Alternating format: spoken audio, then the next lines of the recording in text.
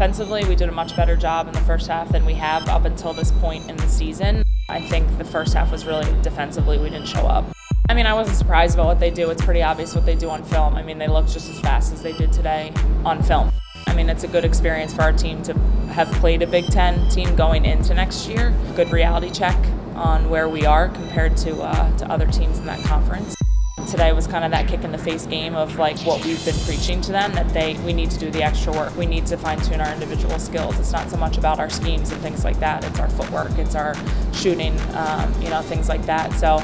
Uh, I think on the attacking side we did do a better job today, but we have to, you know, we have to put it all together. We can't have a really poor defensive day and then have, you know, an above average offensive day. We got to be able to put it all together.